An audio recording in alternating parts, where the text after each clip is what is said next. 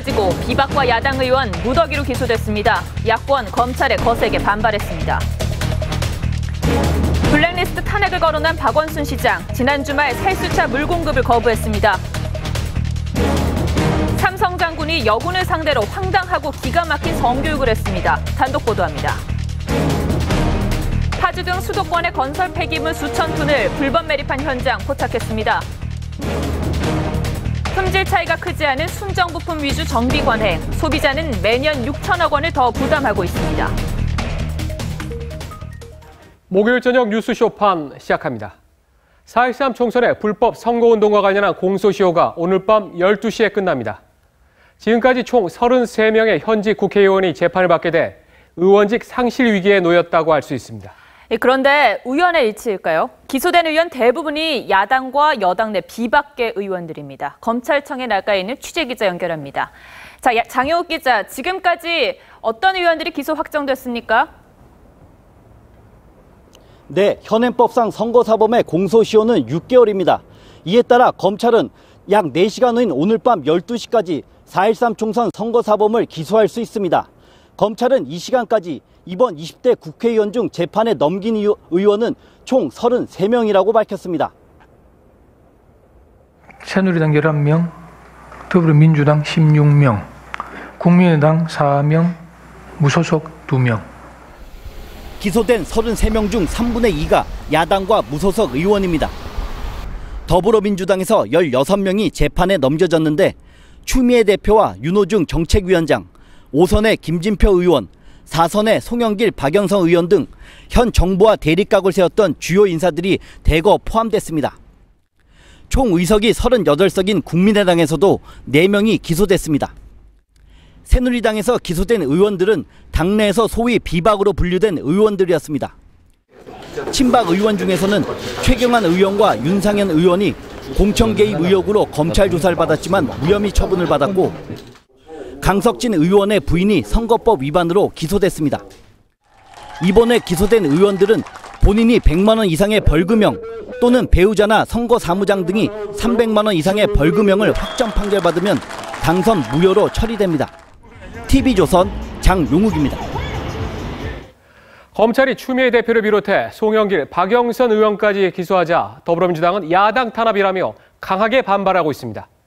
소위 최순실 사건을 덮기 위한 청와대 우병우 민정수석의 명백한 정치 공작이라고 주장하고 있습니다. 야권의 반응 알아보겠습니다. 김명호 기자, 반발의 강도가 예상을 뛰어넘는 수준, 수준 아닌가요? 네, 그렇습니다. 이 더불어민주당뿐만 아니라 국민의당과 정의당까지 합세 이번 검찰의 기소는 정치 공작이다. 이렇게 비판을 하고 있습니다. 더불어민주당은 전해철 최고위원을 위원장으로 비선실세 국정농단 편파 기소 대책위원회까지 꾸렸습니다. 오늘 긴급 최고위원회의에서 추미애 대표는 최순실 사건, 우병우 사건을 덮기 위한 물타기고 이 치졸한 정치 공작이자 보복성 야당 탄압이라고 목소리를 높였습니다. 우상호 원내대표는 우병우 수석의 개입이 중복 확인되고 있다면서 이 배경에 박 대통령의 의중이 담겨 있다면 그냥 넘어가지 않겠다고 주장했습니다. 오후에 열린 긴급 의총에서는 송영길 의원이 국정원 댓글 사건을 기소했다면 박근혜 대통령도 당선 무효형에 해당할 것이라고 주장했습니다. 금태섭 대변인은 청와대와 검찰이 친박 무죄, 야당 유죄라는 결과를 만들어냈다고 논평을 했습니다.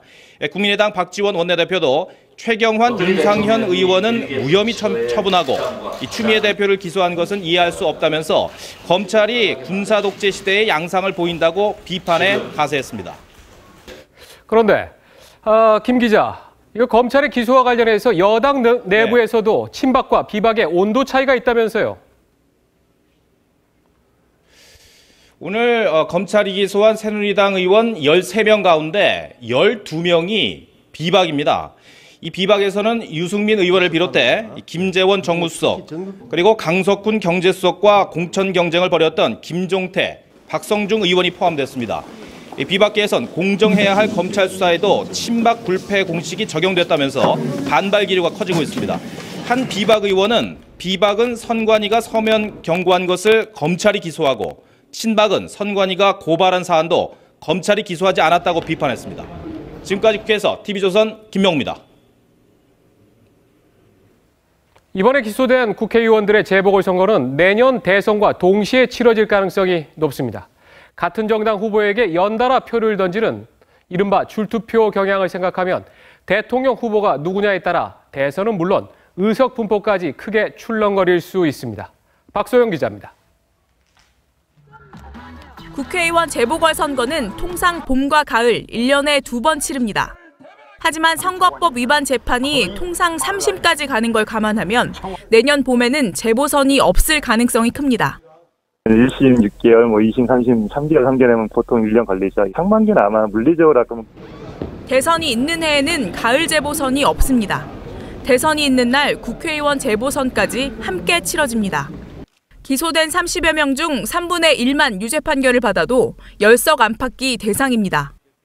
같은 당 소속의 대통령 후보와 국회의원 후보를 선택할 가능성이 커서 대선 승부는 곧장 국회 의석 지형 변화로 이어질 전망입니다. 대선하고 같은 날 치러지는 뭐 재보궐 선거니까 대선 민심하고 어, 같은 방향으로 갈 수밖에 없는 상황이겠죠? 다만 선거법 위반 사건의 상당수가 야당 소속이라는 점은 변수입니다. 재보선의 원인을 제공한 정당이 불리한 경향도 있기 때문입니다. TV조선 박소영입니다. 네, 오늘의 인물 첫 번째는 박원순 서울시장입니다. 박 시장이 이른바 문화예술계 블랙리스트 의혹을 거론하며 박근혜 대통령은 탄핵 대상이라고 주장했습니다. 또 공언했던 대로 경찰의 소화전 물 사용을 불허했던 사실이 드러났습니다. 엄성석 기자가 보도합니다. 박원순 서울시장은 이른바 문화계 블랙리스트 사진을 페이스북에 올리면서 이런 야만적 불법 행위와 권력 남용을 자행하는 현 정부와 대통령은 탄핵 대상이라고 비판했습니다. 이런 정도의 사건이 서구에서 일어났다면 어떤 대통령도 어떤 내각도 사임할 일이 아니냐고도 썼습니다. 새누리당은 지지자의 아부하기 위한 언어 테러라고 비판했고 더불어민주당은 끓는 민심 전달하니 패대기 쳤다며 새누리당을 비판했습니다. 서울시는 지난 8일 경찰의 소화전 사용 협조 요청을 처음으로 불허한 것으로 확인됐습니다. 박 시장이 백남기 씨 사망을 계기로 경찰의 시위 진압용 물대포에 소화전 물을 공급하지 않겠다고 선언한 후속 조치입니다. TV조선 엄성섭입니다. 자, 두 번째 인물은 문재인 전 대표입니다. 오늘 4대 재벌 경제연구소장을 만났는데요. 재벌 개혁을 외쳤던 문 전 대표, 오늘은 조금 달랐습니다. 어떤 속내가 담겼는지 강상구 기자가 보도합니다. 더불어민주당 문재인 전 대표는 오늘 삼성경제연구소를 비롯한 4대 재벌의 경제연구소장을 초청했습니다. 문 전 대표의 싱크탱크 소장인 조윤재 교수가 함께했습니다. 문 전 대표는 삼성전자는 세계 속 국가 대표 브랜드라며 재벌의 길을 살려주는 발언을 합니다. 삼성의 갤럭시 7이 문제도 좀 전화위복의 계기가 돼서 좀 잘 극복해 주시면 좋겠다는. 문 전 대표는 중산층과 서민의 소득을 높인다는 국민 성장의 개념을 설명하면서 재벌 대기업이 공정 경제를 만드는데 노력해달라고 했습니다. 정경련의 미르재단 모금도 언급했습니다. 그러나 재벌 비판보다는 정부 비판에 초점을 맞췄습니다. 앞으로는 법인세를 낮추어 주면서 뒤로는 또 막대한 돈을 이른바 준조세 형식으로 걷어가는 반기업적인 문 전 대표는 지난 대선 때 순환 출자와 출자 총액 제한 제도 부활을 공약하고 재벌 개혁을 주장했습니다. 이번에 재벌 비판 기조가 한층 누그러진 겁니다. 중도층을 겨냥한 외연 확장 의도로 풀이됩니다. 문 전 대표는 정치권에서 제기되는 전경련 해체 주장에도 입장 표명을 피했습니다. 대표님 전경련 해체에 대해서 TV조선 강상구입니다. 자, 이런 문재인 전 대표를 겨냥해 더불어민주당 박영선 의원은 삼성공화국을 만든 노무현 정부에 참모라며 맹비난했습니다. 경제 철학이 없다고도 했습니다. 김경화 기자입니다. 문재인 전 대표의 재벌연구소장 면담을 두고 야권에선 비판이 쏟아졌습니다. 박영선 의원은 경제 철학 구제를 고백하는 황당 행보라고 했습니다. 이어 노무현 정부 5년이 남긴 유산이 삼성공화국이라며 노무현 대통령의 측근은 여전히 변화가 없다고 했습니다. 삼성경제연구소에서 만든 정책집에 의존해 출범한 노무현 정부가 결국 재벌 개혁에 실패했듯이 문 전 대표도 경제 정책을 대기업에 의존하고 있다고 비판했습니다. 김종인 전 대표도 가세했습니다. 벌써부터 무슨 재벌의 눈치를 보는 그러한 대통령 후보가 되겠다 하는 이런 이런 인상을 줘가지고서 독자적 경제관이 없다고도 했습니다. 실질적으로 자기가 그 경제 경제를 알려면은 제대로 경제를 인식을 하고 자기 머릿속에서 자기 생각에서 나와야지 남이 써주는 거 가지고서 국민의당 박지원 비대위원장도 정경련 해체가 거론되는데 시기적으로 부적절하다고 했습니다. 그러나 문 전 대표 측 관계자는 국민이 잘 살기 위해 대기업의 역할이 중요하다는 건데 본질은 보지 않고 비판을 위한 비판만 하는 것 같다고 반박했습니다. 그간 숨죽이고 있던 비문 진영이 본격적으로 문 전 대표에 대한 견제에 나섰다는 분석이 나옵니다. TV조선 김경화입니다. 오늘 아침부터 정치권은 바빴습니다. 정치인들이 논란을 일으키는 사건들이 많이 일어났는데요. 정치부의 배성규 부장과 함께 현안 하나하나 짚어보겠습니다. 배 부장. 네. 먼저 오늘 어, 저는 박원순 서울시장의 그 발언 네. 듣고 사실 놀랄 수밖에 없었는데 맞습니다. 박근혜 대통령 탄핵을 거론했는데 네. 리포트에서도 봤지만 그 진짜 이유는 어떤 겁니까? 네, 아무래도 이 오늘 말한 게 탄핵, 그다음에 워터게이트까지 거론하면서 사퇴해야 된다. 네. 뭐 사실상 박근혜 정부와 전면전하겠다 이 얘기인데. 그렇죠. 네. 이, 이 평소 박원순 시장의 스타일에 비하면 예. 상당히 과격하고 수위도 높습니다. 그래서 왜 박 시장이 왜 이럴까? 결국에는 대선 출마와 관련이 있다. 네. 그러니까 박 시장이 결국 그동안 대선 출마에 대해서 계속 점증적으로 예. 의지를 보여왔는데 사실상 결심이 섰다. 그런데 왜 강성으로 나오느냐? 음. 결국은 지금까지 뭔가 중도층 껴안기에 자신의 대선 전략이 네. 결국 실패했다고 생각한 거 아니냐. 결국 다시 진보층, 야당 예. 지지층에 대한 집토끼 찾기 전략으로 돌아서면서 뭔가 강성 투쟁 이미지, 예. 어. 투사, 투사, 선봉장으로 나서겠다. 이런 전략을 세운 게 아닌가 싶습니다. 근데 왜 이 시점입니까? 아, 시점이 지금 뭔가 이 박근혜 정부와 야당이 네. 각을 세우면서 싸움에 들어가는 음. 본격적인 대선전, 그 다음에 지금 뭔가 이번에 그, 그 선거 기소, 예. 검찰의 기소, 네. 그 다음에 그 이 정기국회 다 맞물리면서 음. 지금 뭔가 기선을 제압하고 확실한 이미지를 심지 않으면 예. 야권에서 밀릴 수 있다. 이미 문재인 전 대표한테는 1위 차이가 굉장히 많이 벌어져 그렇죠. 있고 일부 조사에서 3등까지 떨어졌습니다. 이러다 보니까 지금 놓치면은 내년엔 기회가 없다. 이렇게 본 게 아닌가 싶습니다. 오늘 박원순 서울시장뿐만 아니라 야권에서도 대선 불복과 비슷한 그런 얘기들이 많이 나왔는데 네. 이건 아무래도 오늘이 공소시효 4.13 총선 마감이죠. 이거하고도 좀 관련이 있는 것 아닙니까? 네, 그렇습니다. 지금 오늘 보면은 이 기소가 야당이 거의 두 배가 많이 됐습니다. 여, 예. 여권보다. 근데 특히나 비중 있는 인물들, 뭐 추미애 당대표부터 네. 지금 김진표 의원, 윤호중 정책위 의장, 예. 여기다 박영선 의원까지 거의 그 대여 투쟁의 선봉장으로 나섰던 사람들 다 지금 걸었습니다. 그러니까 예. 이 야권 입장에선 야 이렇게 가만히 있다가는 정말로 여권에 뭔가 네. 이 스탠스에 말려들 것 같다. 그러니까 이럴 때 오히려 강하게 나가야 된다 이런 판단한 것 같고 그래서 일부에서는 지금 송영길 의원 같은 경우에 송영길 의원도 기소가 됐습니다만 예. 송영길 의원은 아예 대통령 당선 무효회기까지 했습니다. 아하. 거의 대선 불복 인상을 주는 발언들인데 예. 이 정도로 강하게 나간 이유는 지금 이 타임에서 싸우지 않으면 밀린다. 그래서 전면전 정권과의 전면전을 네. 선언한 거 아닌가 생각이 듭니다. 사실 오늘 검찰에 아, 야당 정치인들, 주요 정치인들 기소한 것만 해도 그것만 가지고도 다 얘기할 수 있는데 네.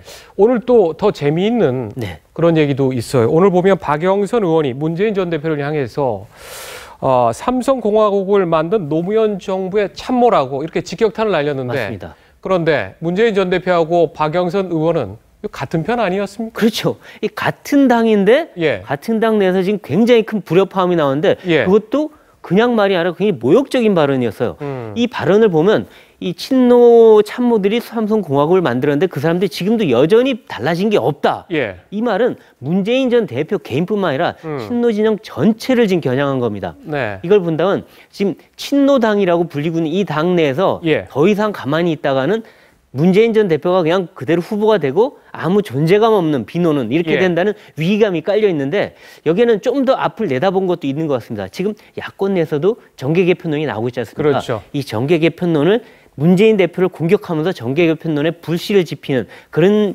그 의도가 있는 거 아닌가 싶고요.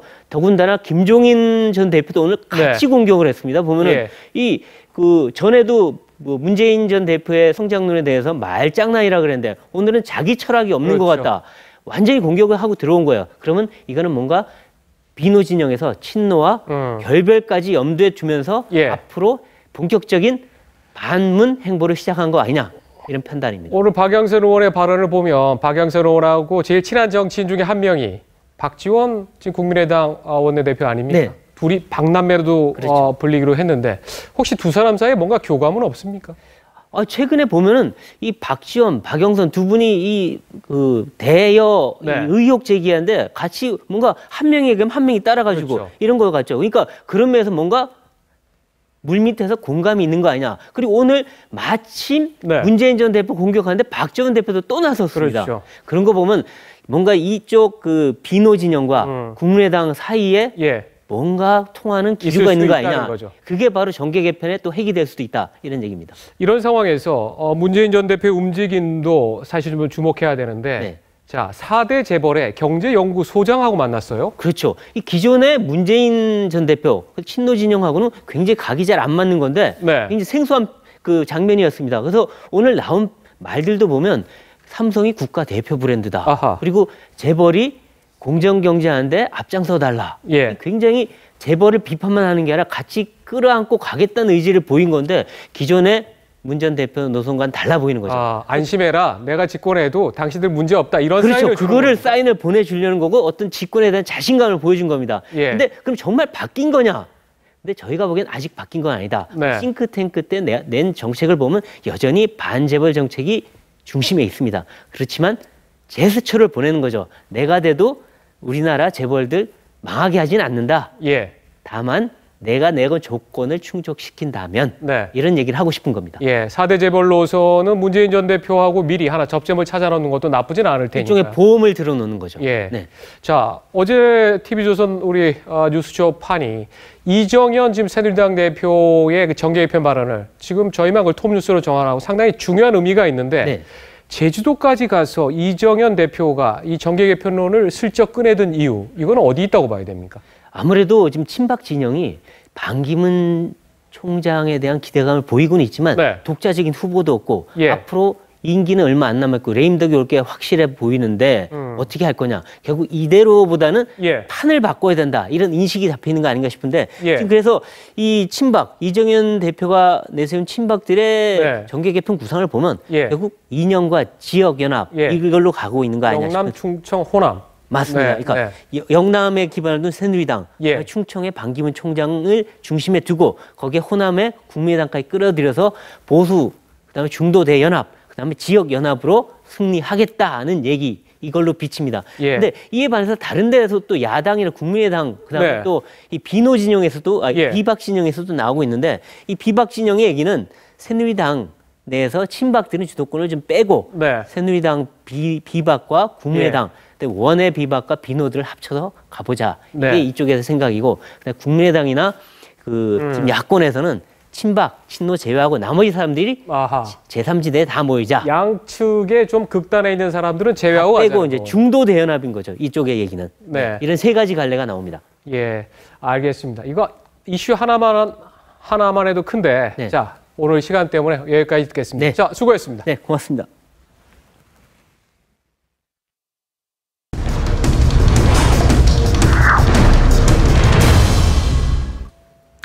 사드 문제로 긴장 상태인 한중 관계가 불법 조업 문제로 더 악화되고 있습니다. 우리 정부 대응이 어느 때보다 중요한 시점이죠. 해경이 불법 중국어선 강경 대응을 밝힌 지 이틀 만에 첫 한포 사격 훈련을 했습니다. 강석 기자입니다. 500톤급 해경 함정에서 40mm 함포가 불을 뿜습니다. 목표 지점을 향해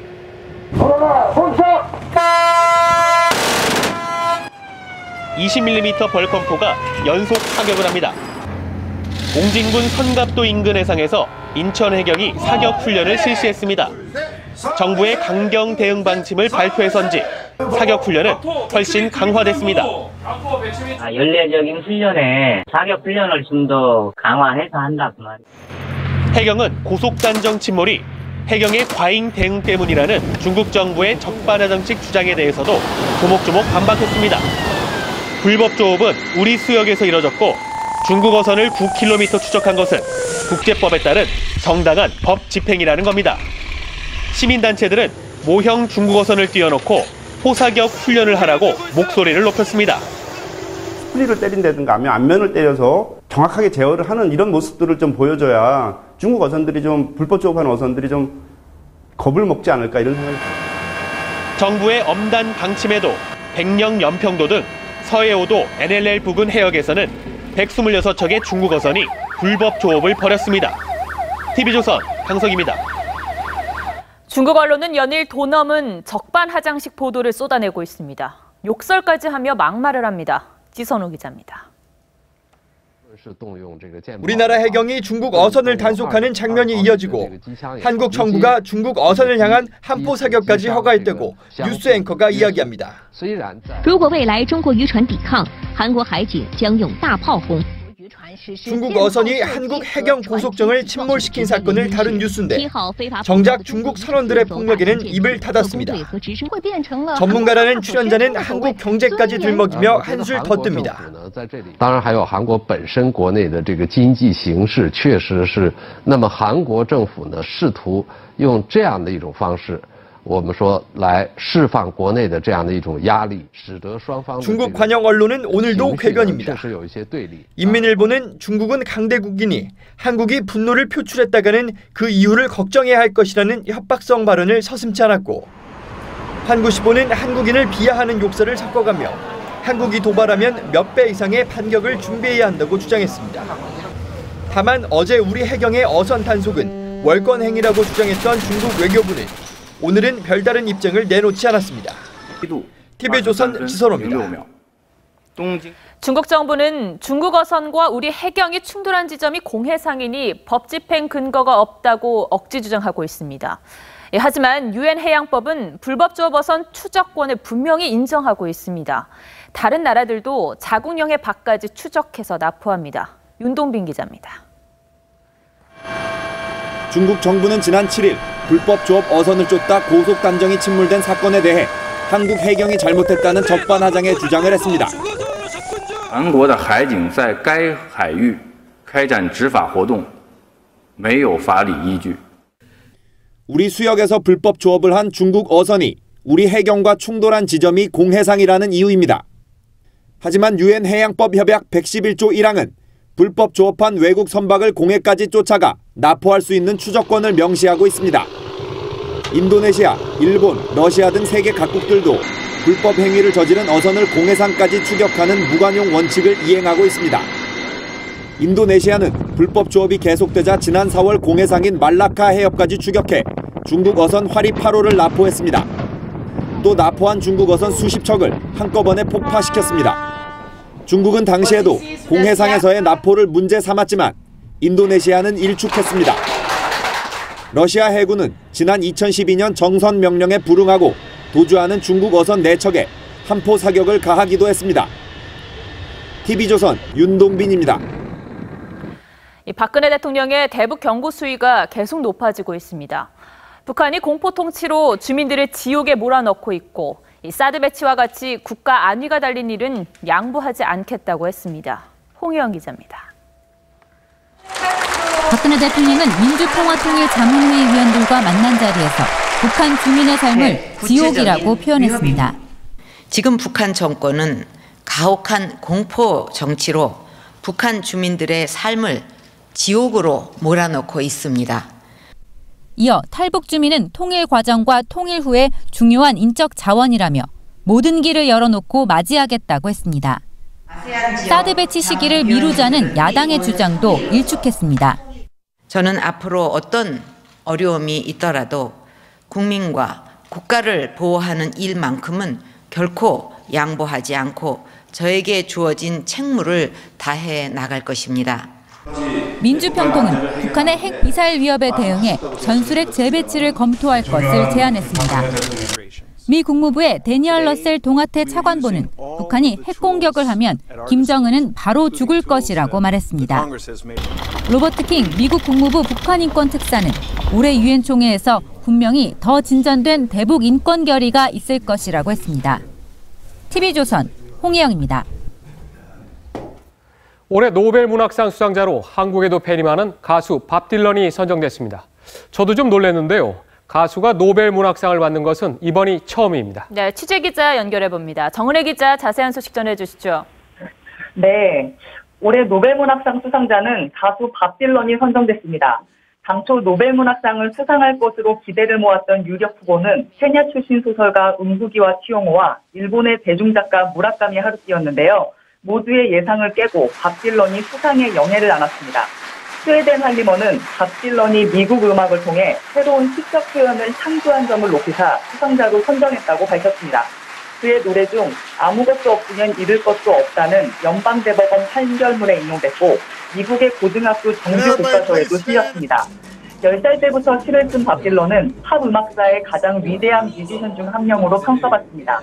대중음악 가사가 노벨 문학상 범주에 들어간 것에 대해 논란이 일기도 했지만 이번 수상을 통해 장르에 대한 편견과 논란을 잠재웠습니다. 시상식은 11월 10일 스웨덴 스테콜름에서 열립니다. 지금까지 문화부에서 전해드렸습니다. 네, 필리핀에서 한국인 3명이 총에 맞아 숨진 채 발견됐습니다. 3명 중 2명은 결박돼 있었습니다. 올해 필리핀에서 피살된 한국인만 6명, 필리핀 가기 무섭다는 말이 나옵니다. 조덕형 기자입니다. 한인 시신 세 구는 마닐라에서 70여 킬로미터 떨어진 사탕수수 농장에서 발견됐습니다. 51살, 46살인 남성 2명과 48살 여성 1명입니다. 모두 머리에 총상이 있었고 2명은 손이나 발이 테이프로 묶여 있었습니다. 인적이 드문 밭이고 신체 일부가 묶여 있는 점 등으로 보아 전형적인 청부 살인과 좀 다른 부분이 있습니다. 피해자들은 두 달 전 출국한 것으로 경찰 조사에서 드러났습니다. 남성 두 명은 홍콩을 통해 필리핀에 입국했습니다. 경찰은 이들이 관광객은 아닌 것으로 파악하고 있습니다. 세 사람의 관계와 필리핀에 간 이유는 아직 밝혀지지 않았습니다. 경찰은 금전을 노린 납치나 보복 살인 등 여러 가능성을 추정하고 있습니다. 총기 100만 정이 불법 유통되고 있는 필리핀에선 250만 원의 청부 사례도 이뤄집니다. 올해 필리핀에서 피살된 한국인은 모두 6명으로 최근 4년을 따지면 40명 가까이 됩니다. 경찰은 수사관과 총기 분석 전문가 등 4명을 오늘 밤 필리핀에 급파할 계획입니다. 필리핀에 파견돼 있는 코리안 데스크 5명은 이미 현지 경찰과 공조 수사를 펼치고 있습니다. 경찰은 공조 수사를 통해 3년 전 한인 식당주를 살해한 현지인을 검거하기도 했습니다. TV조선 조혁현입니다. 성희롱을 안 당하려면 결혼을 빨리 해서 상품 가치를 떨어뜨려야 한다. 한 장성이 여군을 상대로 한 성교육 강의에서 이런 황당한 말을 했습니다. 이 장성은 성추행 혐의로 조사받고 있는 상태입니다. 이뮤진 기자의 단독 보도입니다. 지난해 2월 한 전방부달 성교육 현장. 삼성 장군 지휘관이 여군 280여 명 앞에서 믿기 힘든 말을 합니다. 성희롱을 예방하려면 결혼을 빨리 해서 상품 가치를 떨어뜨려야 한다는 겁니다. 뭐 여기 뭐 결혼 안 하신 분들 뭐 손들고 하면서 빨리 가야 뭐 상품 뭐야 가치가 빨리 빨리 가야 한다. 그러면서 성희롱 상황을 공유해야 한다며 성희롱 피해자의 경험을 들은 직후였습니다. 그냥 일반 여군들도 듣기 기분 나쁜 얘기인데 음. 그런 당사자가 울면서 그 마이크에 대고 전 여군 앞에서 얘기를 했음에도 불구하고 이 장군은 또 가해자 가족을 생각하면 가해자를 처벌하기가 마음이 아프다는 말까지 했습니다. 해당 장군은 취재가 시작되자 군생활 안정을 위해 결혼을 빨리 하라는 취지였다고 해명했습니다. 해당 장군은 그런데 성추행 사건으로 조사를 받고 있습니다. 자연으로 돌아와서 어, 성당나라와 같이 살고 싶다라는 얘기까지 들었을 때는 민간인인 계약직 성고충 상담관을 성추행해 지난 8월 고소를 당한 겁니다. 정작 성인지 교육을 받아서 인식을 개선해야 될 사람들이 교육자로 나서고 있다는 게 문제입니다. 지휘관에 의한 장병 성 교육은 모든 부대에서 1년에 두 번씩 열리고 있습니다. TV조선 임유진입니다. 언제 떨어질지 모르는 불량 드론이 날아다닌다면 불안하겠죠. 시중에 이런 중국산 짭퉁 드론이 5만 대가 넘습니다. 최수용 기자입니다. 소형 무인 비행기 드론이 하늘을 납니다. 갑자기 균형을 잃더니 승용차를 들이받습니다.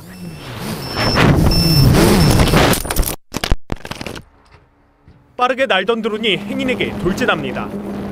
철조망이 없었더라면 어린아이가 다칠 뻔했습니다. 추락한 드론이 고속도로를 달리던 차와 부딪힙니다. 뛰어놀던 아이를 덮치기도 했습니다. 피가 많이 철철 나니까 애는 거의 얼어, 얼어, 얼어 있는 상태였어요. 언제 추락할지 모르는 중국산 짝퉁 드론 5만 8천 대, 19억 3천만 원어치가 하늘을 날아다닙니다. 인증 마크를 위조하거나 부품을 중국산으로 채운 드론들로 모두 31살 조모 씨 등 19명이 2년간 밀반입해 유통시킨 제품들입니다. 드론 한 대당 1,300만의 비용, 고가의 비용과 어, 2, 3개월에 대한 인증 기간을 걸치다 보면 이미 다른 업자들은 시중에 밀수 드론이 풀리기 때문에 경쟁이 없어서 안전성이 검증되지 않은 불법 드론들이 시중에 대거 풀리면서 크고 작은 사건이 잇따르고 있습니다. 최근 4년 동안 접수된 사건과 민원 건수는 150여 건에 달합니다. 주변에 다른 이제 통신을 사용하는 기기들과 혼선을 일으키거나 혹은 드론이 조종 불능 상태에 빠지면서 다른 제 2차, 3차의 사고 우려가 경찰은 조시 등을 입건해 유통 경로 등을 조사하고 있습니다. 드론 안전성 인증 여부는 국립전파연구원 홈페이지에서 확인할 수 있다고 밝혔습니다. TV조선 최수용입니다.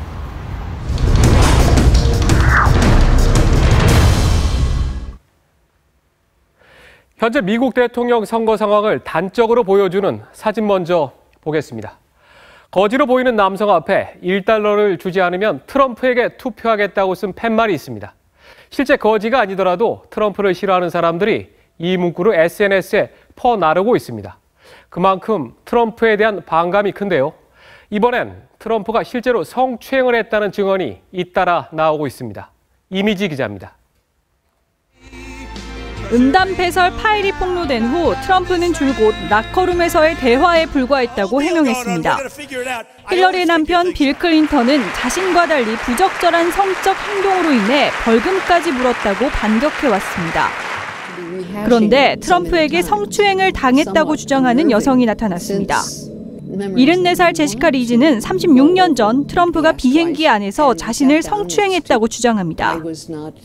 It was like he had six arms. He was all over the place when he started putting his hand up my skirt. 또 다른 여성은 10년 전 엘리베이터에서 만난 트럼프가 자신에게 억지로 키스를 했다고 폭로했습니다. 트럼프 측은 이런 주장에 대해 모두 날조된 이야기라고 반박하고 있습니다.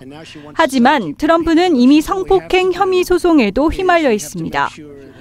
한 익명의 여성은 13살 소녀 시절 트럼프가 주선한 파티에 갔다가 성폭행을 당했다고 주장했습니다. 트럼프가 미인 대회를 운영할 당시 여자 탈의실에 마음대로 드나들었다는 증언도 나왔습니다. Or any sort of clothing or anything. Um, some girls were topless, other girls were naked. 연이은 성적 구설수 속에 트럼프는 대선 레이스 최대 위기에 처했습니다. TV조선 이미지입니다. 자, 그러면 우리 생각에는 클린턴 후보의 우세로 이미 미국 대선이 끝난 것 아니냐 이런 생각이 들지만 꼭 그렇지는 않습니다. 클린턴 후보는 소위 이메일 의혹에 연이어 발목이 잡히고 있습니다. 위키리크스의 폭로로 최측근 이메일이 또 공개됐는데 이번엔 법무부 언론계와의 유착 의혹이 제기됐습니다. 김지수 기자입니다. 위기의 트럼프에게는 클린턴의 이메일이 중요한 반격의 소재입니다. How much is at stake in November and how unattractive and dishonest our country has become.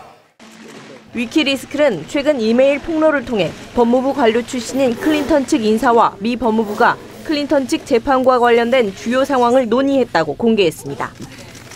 클린턴 캠프 선대본부장 포데스타는 이메일에서 법무부 사람들이 재판 일정을 알려줬고 판사의 생각을 알 수 있을 것이라고 말했습니다. 또 미국 언론과 클린턴과의 유착을 의심하게 하는 이메일도 나왔습니다. 포데스타는 폴리티코의 한 기자를 지목해 그에게 기사거리를 줬는데 한 번도 실망시키지 않았다고 말했습니다. 뉴욕타임스 기자와는 클린턴의 발언을 어디까지 담는 게 좋을지 상의하기도 했습니다. 이메일 해킹을 당한 포데스타는 러시아가 미국 대선에 개입하려 한다고 역공에 나섰습니다.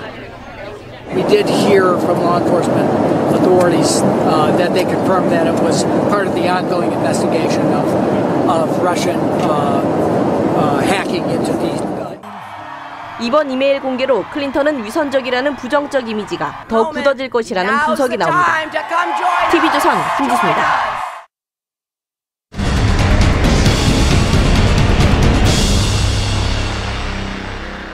공사 현장에서 나온 폐기물을 농지에 불법 매립하는 현장이 TV조선 카메라에 잡혔습니다.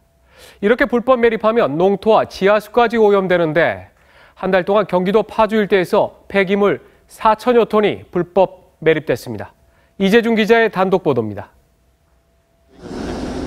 경기도의 한 건설 현장. 컨베이어 벨트에서 모래가 쉴 새 없이 쏟아지고 중장비가 부지런히 실어 나릅니다. 한쪽에는 검은 흙더미가 산처럼 쌓여 있습니다. 무기성 온이라 불리는 건설 자재 돌가루 폐기물입니다. 뒤쪽에 보이는 흰 돌을 기계에 넣어 갈면 어, 골재와 모래가 생산이 되는데 그 과정에서 까만 흙처럼 보이는 저 폐기물이 생성이 됩니다. 지금 비닐로 덮여 있는데 건설 현장에서 발생한 폐기물을 실은 트럭이 어디론가 향합니다. 한참을 달려 경기도 외딴 지역에 도착한 트럭이 갑자기 농지로 들어갑니다. 폐기물을 농지에 불법 매립하려는 겁니다. 이날 하루 25톤 트럭 30차 분량 폐기물 750톤이 이곳에 불법 매립됐습니다. 인근 농지도 비슷한 상황. 대형 트럭들이 폐기물을 버리려고 줄지어 기다립니다. 폐기물 돌가루를 쏟아부은 농지입니다. 입자가 너무 작기 때문에 발을 떼기 힘들 정도로 질퍽거립니다. 이렇게 매립이 끝나고 수분이 어느 정도 빠지면 트랙터로 땅을 갈아엎는데 이렇게 되면 정상적인 흙과 구별이 어려워집니다. 폐기물이 섞인 농지는 농사를 짓기 힘들고 지하수까지 오염시키게 됩니다. 이 지역은 상수원 보호구역인데도 업체들은 마구잡이로 폐기물을 매립했습니다. 흙 나온 게 있어요. 그거, 그거 가지고 그러는 건데, 아니, 원래는 그게 이제 정상 처리를 해야 되는데, 업체들은 주로 휴일날 단속을 피해 움직였는데 한 달간 파주 일대에서 3개 업체가 4,500톤이 넘는 폐기물을 불법 매립한 것으로 확인됐습니다. TV조선 이재중입니다. 건설 폐기물을 농지에 매립하면 토질이 변하고 오염돼 농사를 짓기 힘든 땅이 됩니다. 그런데도 불법 매립 브로커들은 농민들에게 좋은 흙이라고 속이고 심지어 돈을 받기, 돈을 받고 팔기까지 했습니다. 사기도 이런 사기가 따로 없습니다. 한송원 기자입니다. 골재 폐기물은 석회질이 포함된 미세한 돌가루입니다.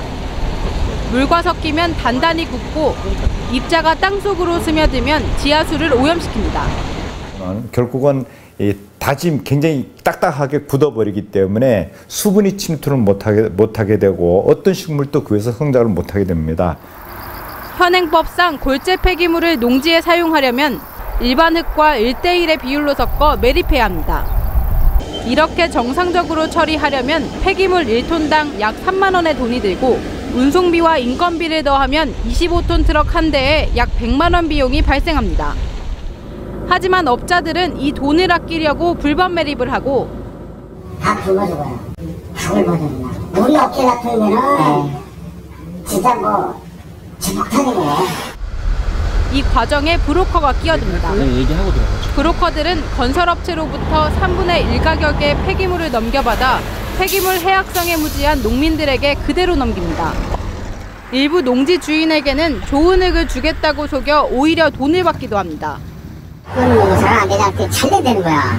피 많이 받죠, 그냥 한번. 폐기물 불법 매립으로 농지 피해가 잇따르지만 관할관청은 불법 매립 업체와 피해 실태 등도 정확히 파악하지 못한 상황입니다. 저 이게 아 나 이거 운이 아니다. 그냥 이거 산업이다 뻐르기다. 네. 이래버리면 저희도 뭐할 수 있는 증거 자체가 없거든요. 지자체의 관리 감독 소홀을 틈타 곳곳의 농지가 불법 매립 폐기물로 신음하고 있습니다. TV조선 한송원입니다. 서울 시민의 젖줄인 한강 바닥을 훑어보니 온갖 쓰레기가 넘쳐났습니다. 44년 전에 침몰했던 폐선박도 녹슨 채 이렇게 강바닥에 있었습니다. 유혜린 기자가 한강 쓰레기 수거 현장 동행 취재했습니다. 잠수부들이 물속으로 뛰어듭니다. 수심 3m 아래로 내려가자 시뻘건 녹으로 뒤덮인 선박 한 척이 눈에 들어옵니다. 1972년 팔당댐 건설에 동원됐다 침몰된 예인선입니다. 72년 8월 달에 홍수가 크게 났다고 합니다. 그때 당시 때 아, 침몰된 예인 동력선으로 추 6에서 7m 길이의 폭 3m인 폐선박은 통째로 인양이 불가능해 여러 조각으로 절단한 뒤 물 밖으로 꺼냈습니다. 침몰된 지 44년 만입니다. 방금 건져 올린 선박 조각입니다. 오랜 시간 물속에 방치되면서 온통 녹으로 뒤덮여 형체를 알아보기 힘듭니다. 팔당대교 인근엔 길이 10m H빔이 가라앉아 있습니다. 91년 붕괴 사고 이후 25년째 방치돼 왔습니다. 이뿐만이 아닙니다. 폐타이어, 망가진 부표, 어망, 페트병까지 종류도 다양합니다. 안 좋은 수질 오염 물질들을 용출하게 되고 어, 상수원 수질 오염 특히 수생태계에도 상당한 악영향을 미치기 때문에 잠수사 170명을 동원한 이번 작업으로 수거한 쓰레기는 3톤가량이며 2003년부터 13년 동안 건진 쓰레기는 623톤에 달합니다. TV조선 유혜림입니다. 지진과 태풍 피해를 입은 경주시와 울산시 일부가 특별 재난 지역으로 선포되면서 복구 작업에 탄력이 붙고 있습니다. 그런데 피해당한 상인들은 지원금 한 푼도 받지 못한다고 합니다. 하동원 기자가 취재했습니다. 태풍 차바로 홍수가 나 점포 300여 곳이 대부분 쑥대밭으로 변한 울산 태화시장. 여기도 피해가 엄청나거든요. 소상인들이기 때문에. 입방 가게는 제빵 기계가 물에 잠기는 등 4천만 원어치의 피해를 입었지만 복구 지원금은 단 한 푼도 받지 못합니다. 태화시장을 포함한 울산 중구가 특별 재난 지역에서 빠진 데다 선정된다 해도 현행법상 지원 대상에 소상공인이 포함되지 않기 때문입니다. 왜 이 부분 못 받느냐고. 그거 웃기는 얘기 아닙니까? 새로 만들어야죠. 없는 법을. 경주 지진으로 피해를 입은 상인들도 마찬가지. 한 4천만 원 정도 그 견적이 나와요. 근데 전혀 지금 지원은 하나도 없고요. 최대 900만 원인 정부 지원금이 막히면서 울산시는 자체 예산으로 상인들에게 100만 원씩 지급하기로 했습니다. 태화시장 상인들은 우정혁신도시를 건설하면서 저류지를 제대로 만들지 않아 홍수 피해를 입었다며 LH공사를 상대로 손해배상 소송을 준비 중입니다. TV조선 하동훈입니다. 오늘 대검 국정감사에서 전현직 검찰총장과 관련된 의혹이 쏟아졌습니다. 현직 총장에겐 박근혜 대통령 동생인 지만 씨와 유착이, 전직 총장에겐 일본계 대부회사 수임료 문제가 제기됐습니다. 검찰이 얼마나 불신받고 있는지를 단적으로 보여주는 그런 자리였던 것 같습니다. 최우정 기자입니다. 김수남 검찰총장이 박근혜 대통령의 동생 박지만 이지회장과 사적인 만남을 가졌다는 주장이 제기됐습니다. 청담동에 있는 레스토랑인데 그 집에 단골로 드나들었고 그 집 주인과 관련해서 저 박지만 회장을 만났습니다. 뭐 잘 모르시겠습니까? 박 회장과 비서 사이에 오고 간 문자 메시지까지 공개되자 김 총장은 식당서 우연히 만난 것이라고 반박했습니다. 제 기억으로는 한 4년 뭐 이래 수년 전으로 제가 기억을 합니다. 그런데 뭐 중앙지검장 시절은 제 기억으로는 아닙니다. 새누리당 김진태 의원이 엄호에 나서며 의원들 간 논쟁도 벌어졌습니다. 아무리 그렇더라도 몇 년 전에 누구를 만났는지와 검찰 수사에 대한 충정을 연결시키는 것은 무리하다. 궤변이다. 참는데도 한계가 있는 겁니다. 여기에는 뭔 정치 평론가가 한 명 있어요. 한상대 전 검찰총장이 일본계 대부회사로부터 부적절한 자문료를 받았다는 주장도 제기됐습니다. 박지원 국민의당 의원은 한 전 총장이 SBI 홀딩스 코리아 자회사로부터 자문료 2억 2천만 원을 받았다고 밝혔습니다. 자문 계약 형식을 빌린 편, 편법 수임입니다. 몰래 변론, 전화 변론, 후배들에게 부탁하는 이 부도덕한 부도덕한 관행을 끊어야 한다. 김주현 대검차장은 김정주 넥슨 창업주 부친의 빌라를 매입한 사실과 관련해 전혀 모르는 사람이고 10년 전 거래 과정에서 이름을 듣지도 못했다. 우연일 뿐이다고 말했습니다. TV조선 최우정입니다. 이뿐만이 아닙니다. 오늘 국감에선 검찰의 우병우 청와대 수석에 대한 수사가 형식적이며 이른바 봐주기라는 지적도 잇따랐습니다. 그리고 최근 구속된 남상태 전 대우조선 해양사장 관련 사건을 7년 전에 검찰이 그냥 덮어버렸다는 그런 의혹도 제기됐습니다. 최현식 기자입니다. 수사 착수 50일이 넘도록 단 한 명의 피의자 조사가 없는 우병우 수석 비위 의혹 수사를 놓고 야당의 질타가 쏟아집니다. 우병우 수석은 국회 운영이 국감하에도 불출석하겠다 하는 의사를 공공연하게 밝히고 있습니다. 그런데 특별수사팀이 우병우를 불릴 수도 있겠냐? 우수석 처가의 땅 거래에 진경준 전 검사장이 개입했다는 의혹을 제대로 조사하지 않았다는 지적도 나옵니다. 진경준 검사장이 개입했다고 말하는 참고인이 있다는 것을 알고 있었음에도 구체적인 진술인데 조사도 안 하고 어, 무혐의 심증을 내부, 내비친 겁니다. 청와대 개입 의혹으로 고발된 미르재단 사건을 형사부에 배당한 것도 청와대의 입김 때문이라는 주장이 나왔습니다.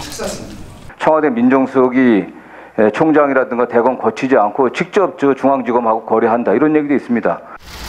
야당은 또 최근 구속 기소된 남상태 전 대우조선 사장을 이명박 정권 당시 검찰이 봐줬다고 주장했습니다. 남전 사장의 비자금 조성 혐의가 담긴 2009년 검찰 수사 보고서를 증거로 제시했습니다. 지금 거제 같은 경우는 거의 피폐된 상황입니다. 그런데 검찰이 정말 바로 섰다면 대우조선 해양이라는 내관을 이미 7년 전에 제기할 수 제거할 수 있었다. 검찰은 당시 계좌 추적을 진행했지만 수사의 단서를 확보하지 못했다고 밝혔습니다. TV조선 최현식입니다. 국정감사가 막판으로 접어들고 있는데요. 미르 K스포츠재단에 800억 모금을 둘러싼 여야 공방이 여전히 치열합니다. 오늘 국감장에선 한성규 의원이 윤혜 의원을 향해 내가 그렇게 좋으냐 이런 말을 해 논란이 됐습니다. 신정훈 기자입니다.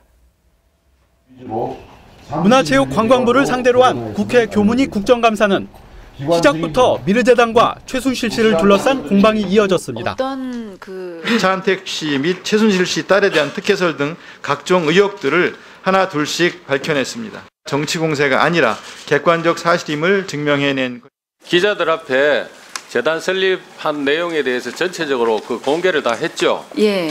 어, 통상적으로 무슨 문제가 있거나 이러면 사람들이 숨기려고 하지 그걸 드러내지는 않지 않습니까?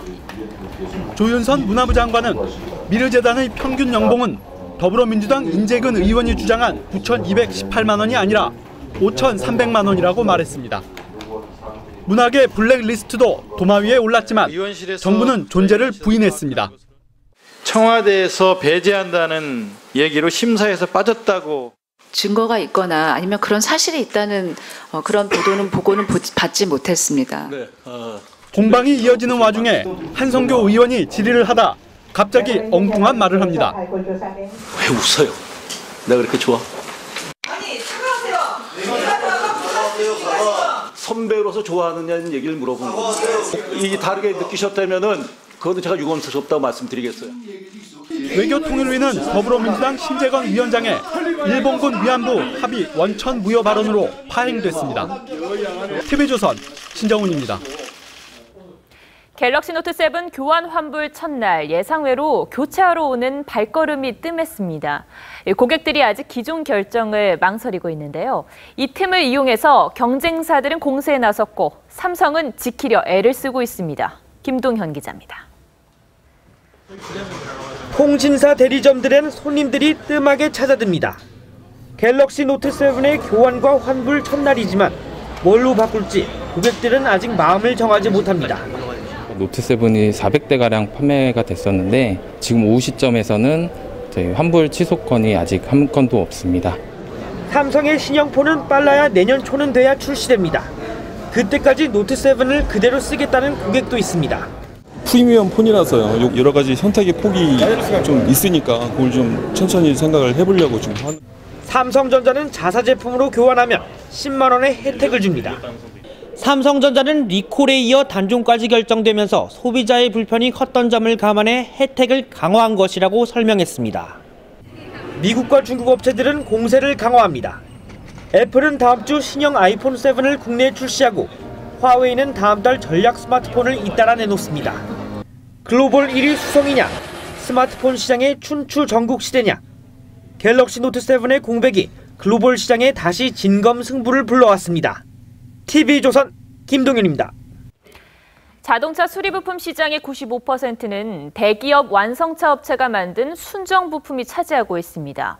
이 저렴한 비순정 부품은 쓰고 싶어도 찾아보기가 힘듭니다. 이런 대기업 독점 체제로 운전자가 추가 부담하는 보험료가 연간 6천억 원에 이릅니다. 최전 기자의 단독 보도입니다. 운전자 강종구 씨는 최근 교통사고로 고장난 자동차 라이트를 완성차 업체의 OEM 순정 부품이 아닌 저렴한 비순정품으로 교체했습니다. 가격은 절반이었지만 품질 차이는 없었습니다. 전혀 외관상의 변화가 없고 뭐 깨짐 현상이 전혀 없어서 제 입장에서는 지금 만족하고 타고 있습니다. 순정품과 비교 분석한 실험에서도 비순정품은 성능이 비슷하거나 오히려 더 뛰어난 것으로 나타났습니다. 그러나 우리나라 자동차 수리부품 시장은 완성차 업체가 95% 가까이 독점하고 있습니다. 자동차 제조사 직영 수리업체뿐 아니라 이런 일반 카센터에서도 OEM 제품 외에 대체 부품은 찾아볼 수 없어 이용이 어렵습니다. 이 때문에 소비자들은 더 많은 자동차 보험료를 내야 하는 상황입니다. 교통사고가 나서 차를 수리할 때 비순정품을 쓰면 수리 비용이 20% 이상 떨어집니다. 비순정품 사용이 일반화되면 운전자가 부담하는 자동차 보험료를 연간 6천억 원가량 줄일 수 있습니다. 소비자들은 그 보험료를 많이 낮출 수 있는 부분이 있음에도 불구하고 알지도 못한 상황에서 피해를 보고 있다고 볼 수 있습니다. 완성차 업체들의 독점 구조를 조금 완화해서 대체 부품이 하나의 시장으로 형성될 수 있도록 하는 시장 환경 조성이 더 시급합니다. TV조선 최지원입니다. 디젤 게이트를 일으킨 클린 디젤 차량이 법적으로 친환경차에서 제외됩니다. 무늬만 클린이지 실제로는 대기 오염의 주범이었기 때문입니다. 그동안 면제됐던 환경 개선 부담금도 부과될 전망입니다. 강동원 기자가 단독 보도합니다. 지난 2009년 들여온 유로5 디젤 엔진. 정부는 이 같은 클린 디젤 차량을 친환경 차량으로 인정했습니다. 친환경적이다라는 말이 떠올라요. 어, 아무래도 디젤이 휘발유보다 좀 친환경적이라고 알려져 있으니까. 자동차 업계도 판매에 적극 활용했습니다. 올해 4월 말 기준으로 신규 디젤차 등록 대수는 가솔린 차량을 추월했습니다. 하지만 폭스바겐 사태를 통해 클린 디젤은 말뿐이고 질소 산화물을 내뿜어 미세먼지의 주범으로 드러났습니다. 그러니까 일반 소비자들은 디젤 엔진에서 발생하는 대기 오염의 심각성을 간과한 그런 원인 제공이 됐습니다. 정부는 법률 개정을 통해 환경 친화적 자동차를 규정한 법에서 클린 디젤을 친환경 차에서 제외하기로 했습니다. 클린 디젤에 대해서 정부가 과오를 인정하고 환경 친화적 자동차에서 제외하기로 한 것은 큰 의미가 있다고 볼 수 있습니다. 2011년 이후 제작된 디젤 차량에게 그동안 주어졌던 환경 개선 부담금 면제 혜택도 사라질 전망입니다. 환경 개선 부담금은 차종과 차량에 따라 다르지만 연간 최고 30만 원에 이릅니다. TV조선 강동원입니다. 그 콧대 높던 특급 호텔들이 문턱을 낮추고 있습니다. 집으로 음식을 배달해 주는가 하면 편의점까지 입점시킵니다. 김지아 기자입니다. 서울 삼성동의 특급 호텔. 고급스러운 로비 옆에 편의점이 들어섰습니다. 간단한 식사를 해결할 수 있는 도시락과 함께 고급 와인이 진열돼 있습니다. 기존 편의점과 다르게 이렇게 무인 택배함과 옷을 세탁할 수 있는 스타일러도 설치되어 있습니다. 국내 특급 호텔 1호 편의점입니다. 두툼한 쇠고기 패티 햄버거에 감자튀김과 쉐이크까지. 이 호텔은 특급 호텔 최초로 한 끼 식사를 가정집에 배달해 줍니다. 40년 가까이 운영하던 일식집과 레스토랑을 허물고 꼬치구이와 철판 요리집을 개점하는가 하면 호텔 로비의 카페 음식들을 만 원 이하로 낮췄습니다. 칵테일과 함께 무료로 안주류를 제공하고 있고요. 어, 1층에는 편의점이 입점해서 고객들이 편리하게 이용할 수 있게 하는 등 젊은 층을 공략하기 위한 다양한 마케팅을 진행하고 있습니다. 서울 시내에는 특 2급과 특급 호텔이 64곳이 있습니다. 김영란법 시행으로 고급 식음료 시설 이용을 기피하는 사회적 분위기까지 더해지면서 새로운 고객층을 잡는 데 사활을 걸고 있습니다. TV조선 김자입니다.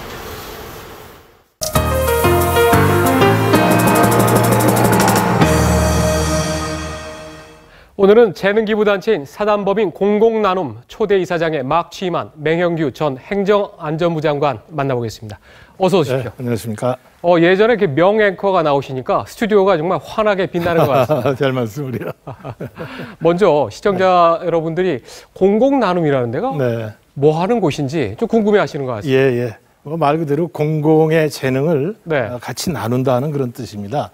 이게 우리나라에 이제 퇴직 공직자들이 굉장히 많이 있는데 네. 이분들이 평생을 두고 쌓아온 어, 경험이라든지 지식이라든지 노하우가 예. 일찍 퇴직하다 보니까 그냥 사장되는 경우가 너무 많고 이걸 아하. 안타깝게 생각을 하는 사람이 굉장히 많았습니다. 예. 그래서 어, 뜻을 같이 하는 사람들끼리 모여서 음. 우리가 이걸 사장시킬 게 아니라 네. 우리 사회를 위해서 한번 이걸로 좋은 일을 한번 해보자 해가지고 예. 만들어진 게 이 공공 나눔입니다. 아. 특히 어, 사실 그 공직자들은 이 사회로부터 가장 예. 큰 혜택을 받은 사람들 아니겠습니까? 네. 그러니까 이제, 이제 갚을 때가 된 거죠. 그래서 음. 이런 걸 만들었습니다. 공공 나눔이 보니까 펀딩을 또 따로 하는 것도 아닌데 아닙니다, 아닙니다. 이 보니까는 재원도 네. 이제 앞으로 좀 마련해야 되는데 네.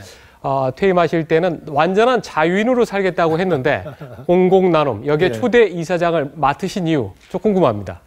어, 우선 그저 이, 이 펀딩 문제와 관련해서는요. 네.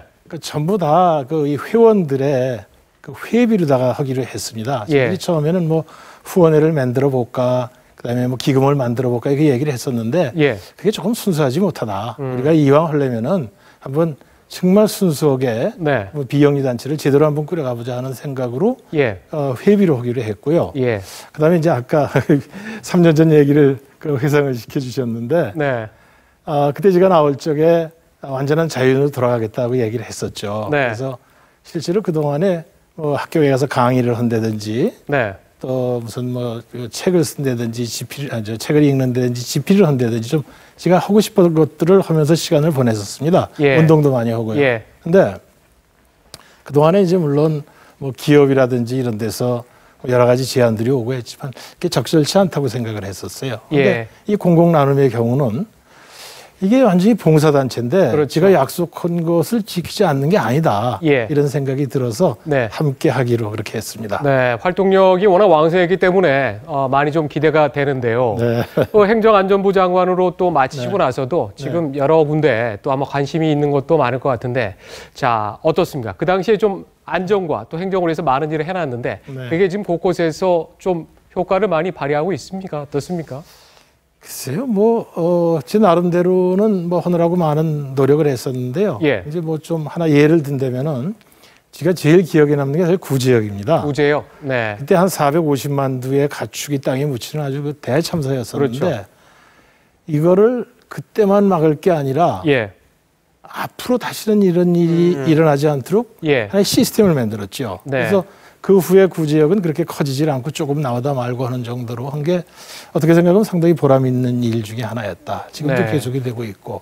그다음에 자전거 길이 있습니다. 국토 종주 자전거 길. 예. 우리나라에 말하자면 어, 자전거 문화를 바꿔놓은 획기적인 일이었다 이렇게 생각을 합니다만은 어, 그 일도 많이 기억이 나고 그 다음에 예. 뭐 이것저것 기억이 나는 일이 많이 있네요. 그러고 네. 보니까. 지금도 유지가 되고 있습니다. 저도 한 2주 전 토요일에 자전거 타고 양평까지 다녀오면서 예, 아름답죠? 그때도 네, 예. 아, 맹장관님 얘기가 좀 나왔었습니다. 네. 최근에 이제 지금 보면 어, 이명박 정부에서 한 여러 가지 일들을 좀 말씀을 해 주셨는데 네. 최근에 이명박 전 대통령이 김영란법과 관련해 음. 네. 평소에 다른 일에는 말씀을 안 하시다가 네. 아, 하나 메시지도 내고 했는데 음. 이명박 전 대통령의 최측근 중에 한 명이시잖아요. 뭔가 좀 이 전 대통령이 활동을 좀 하시는 겁니까? 뭐 최측근은 아니고 이제 가깝죠. 아, 네. 제가 좋아하는 분이니까요. 네. 어, 우선 그 저 전직 국가 원로로서 예. 어, 나라 걱정하는 건 너무나 당연한 일이라고 저는 생각을 하고요. 예. 어, 근데 이분이 이제 뭐 정치 재결하는 거 아니냐 뭐 이런 얘기도 있는데 전혀 그렇지 않습니다. 아하. 얼마 전에 어딘가 어느 언론에 어, 이명박 대통령이 다음 선거에 영향을 뭐 미치려 그런다는 게 보도가 된 적이 있어서 한때 예. 좀 시끌시끌했었는데 네. 제가 아는 한은 그 전혀 사실이 아닙니다. 예. 아마도 어, 이명박 대통령을 업고 예. 어, 정치적으로 뭘 한번 해보겠다는 생각을 가진 네. 어떤 사람이 예. 어, 자아 뭐 자석 뭐라 그러나요? 그죠? 네. 자가 발전을 한 게 아닌가 저는 그렇게 생각을 합니다. 삼선을 하시고 또 네. 10년 전에는 사실 가장 유력한 아, 서울시장 후보 중에 또 한 명이었는데 네. 어떻습니까? 지금 한 걸음 좀 떨어져서 정치를 보니까 예. 어떻습니까? 우리 정치요. 아, 요즘 정치를 보면은 예. 내가 저런데 어떻게 있었을까 하는 그런 생각이 우선 들고요. 예. 이 정치의 문제가 지금 제일 큰 문제가 뭐냐면 네.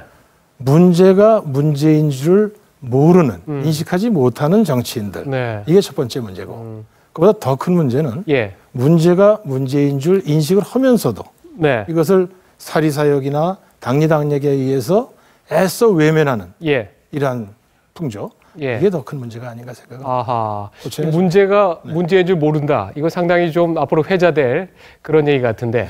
그런데 어, 언론 훌륭 또 성공한 언론인이시고 네. 또 앵커도 하시고 어, 특파원도 하고 그리고 장관 국회의원 다 이렇게 역할을 하면서 어, 상당히 성공적으로 그동안 경력을 쌓으셨는데 어떻습니까? 어떤 때가 가장 또 기억에 좀 남으십니까? 아 저는 그 어, 정말 그 열정을 가지고 현장을 뭐 정신없이 뛰어다니던 네. 그 기자 시절 그때가 제일 행복했던 것 아, 같습니다. 그렇습니까? 네. 아, 마지막으로 네. 정치 다시 하실 생각 없지 않으신 거죠? 저는 그런 생각 없습니다. 네. 우리 저 예. 저는 우리 할아버지의 영향을 저 많이 받으면서 자랐는데 어렸을 네. 때부터 남자는 진퇴를 분명히 해야 된다. 아하. 나감과 들어감을 분명히 해야 된다는 예. 그게 일종의 제 좌우명처럼 돼 있었는데 네. 지금은 그런 생각할 때가 절대 아니다 이렇게 생각합니다. 공공 나눔에만 계속 주력하겠다 그런 뜻으로 좀 들립니다. 일단 시작했으니까 성공을 시켜야죠. 알겠습니다. 오늘 좀- 여기까지 듣겠습니다. 예, 많이 좀 도와주십시오. 고맙습니다. 예. 네,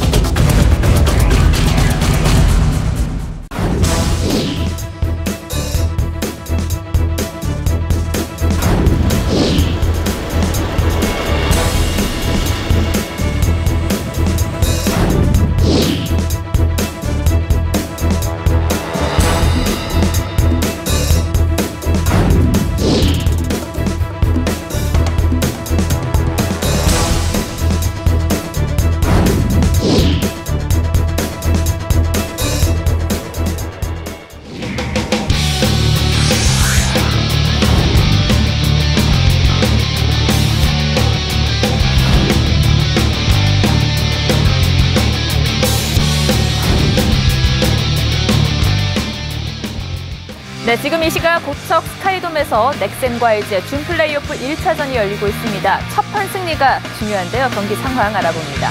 자, 박상준 기자 전해주시죠. 끝내기로 준 플레이오프에 진출한 LG가 초반부터 기세를 잡았습니다. 이래 선두타자 김용희가 유격수 강습 타구로 첫 안타를 만들었고 박용택의 안타로 이어진 1-4-1-3 루기에서 히메네스가 1루 손상에 걸치는 희생타로 선제점을 올렸습니다. 반면 넥센은 1회 만루 기회를 살리지 못했습니다. 고종욱의 볼넷과 김하성, 윤석민의 연속 안타로 만든 1사 만루에서 김민성이 병살타에 그쳐 공격에 찬물을 끼얹었습니다. 넥센은 4회 다시 만루 기회를 잡았지만 이번에도 빈타에 울었습니다. 오지환이 평범한 라인 드라이브 타구를 놓치며 1사 만루를 맞았지만 박동원이 3루수 파울 플라이로 물러난 데 이어 임병욱이 풀카운트 승부 끝에 삼진을 당하면서 득점에 실패했습니다. 위기를 넘긴 LG는 기회를 놓치지 않았습니다. 5회 1사 2, 3루에서 김용의가 좌중간을 가르는 2타점 적시타를 때렸고 박용택 안타까지 더해져 4대 0으로 달아났습니다. LG는 6회 1사 2, 3루에서 폭투와 희생 플라이로 2점을 더 추가했습니다. LG가 7회 현재 7대 0으로 앞서고 있습니다. 1차전 승리팀이 플레이오프에 진출할 확률은 83%이며 2차전은 내일 같은 장소에서 열립니다. 지금까지 TV조선 박상준입니다. 우리 축구대표팀과 볼티모어 김현수 선수가 같은 날 돌아왔습니다. 하지만 분위기는 전혀 달랐습니다. 신유만 기자입니다. 두 사람은 입국장 등장 표정부터 달랐습니다. 시종일관 굳은 얼굴로 인터뷰에 응한 슈틸리케 감독과 달리 김현수는 담담한 표정 속에 자신감이 묻어났습니다. 김현수는 올 시즌 마이너리그행 압박을 받으며 미우놀이로 시작했지만 시즌 타율 3할을 넘기고 팀을 가을 야구로 이끈 홈런까지 날리며 100조로 탈바꿈했습니다. 한 5점 정도 되는 것 같아요. 한 5점 정도 되는 것 같고 5점은 뭐 깎아먹은 건 뭐 많이들 아실 거라고 생각하고 있고요. 어, 그냥 5점은 그래도 인내했다는 거에 5점을 주고 싶습니다. 반면 이란전 무기력한 패배 이후 카타르 소리아 같은 공격수가 없다는 발언으로 여론에 불을 지른 슈틸리케 감독. 경질설까지 나오는 가운데 논란에 대해 해명했습니다. Y en esta reunión eh, le quise animar porque yo, yo le dije, mira, eh, Soria no, tiene, juego que, que cabeza de tú. 국내에 머무는 동안 가족들과 꿀맛 같은 휴식을 취하고 내년 시즌 준비에 들어가는 김현수에 반해 슈틸리케 감독에겐 다음 달 15일 펼쳐지는 우즈베키스탄과의 아시아 최종 예선 5차전이 꼭 이겨야만 하는 부담으로 다가오게 됐습니다. TV조선 신유만입니다. 골프 여왕 박세리가 오늘 한국에서 열린 LPGA 경기를 마지막으로 필드를 떠났습니다. 대한민국이 어렵고 힘들 때 온 국민에게 힘을 줬던 박세리 선수의 은퇴 무대 김광 기자가 보도합니다. 이제 마지막이라는 생각에 시작부터 울컥했습니다. 돌아서서 눈물을 훔치고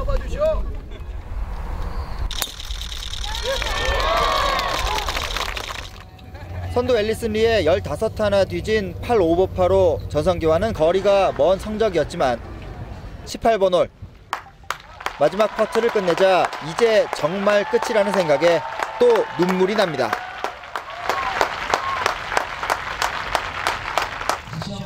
경기 후 은퇴식 박세리의 눈에는 경기 때와 비교할 수 없을 정도의 많은 눈물이 맺혔습니다.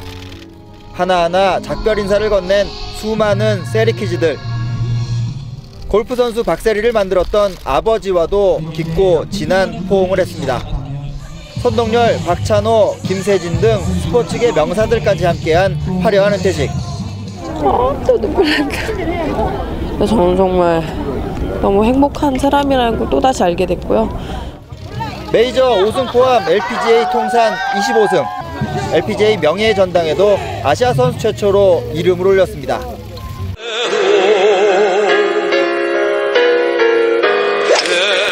98년도 US 오픈에서 연장 나갔을 때 그 모습인데요. 그렇죠. 물에서 했던 샷 하나 때문에 저도 그 순간에 제 인생에 있어서 최고의 샷이었던 것 같고요. 박세리의 위대한 업적은 역경을 이겨낸 과정이어서 더 감동적이었습니다. 이 화려한 배웅의 과정도 그래서 잘 어울립니다. TV조선 김관입니다.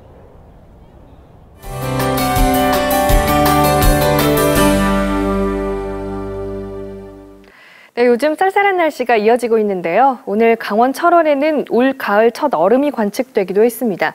작년보단 15일, 평년보단 5일 빠른 건데요. 갑작스런 추위를 실감케 합니다. 내일 낮부터는 이때일은 쌀쌀함이 누그러집니다. 평년 기온을 회복하겠고요. 또 전국에서 맑은 가을 하늘을 감상하실 수 있겠습니다. 낮은 햇살이 뜨거워서 일교차가 계속 크게 벌어지는데요. 내일 서울의 낮 기온이 23도까지 오르겠고 아침 기온은 11도로 시작하겠습니다. 남부지방도 최고 기온 24도 안팎으로 따뜻한 날씨가 되겠고요. 제주 산간에는 건조특보가 내려져 있어 산불 주의하셔야겠습니다. 동해안 지역은 내일 낮에도 서늘하겠습니다. 바다의 물결은 전해상에서 최고 2.5m까지 일겠습니다. 이번 주말 토요일은 맑겠고요. 일요일은 전국에 비 예보가 있습니다. 나들이 계획 세우실 때 참고하시기 바랍니다. 날씨였습니다. 박원순 서울시장이 소위 문화예술계 블랙리스트 사건과 관련해 박근혜 대통령 탄핵을 거론했습니다. 경찰의 물대포에 서울시 소화전을 사용하지 못하게 하는 조치도 실제로 시행했습니다.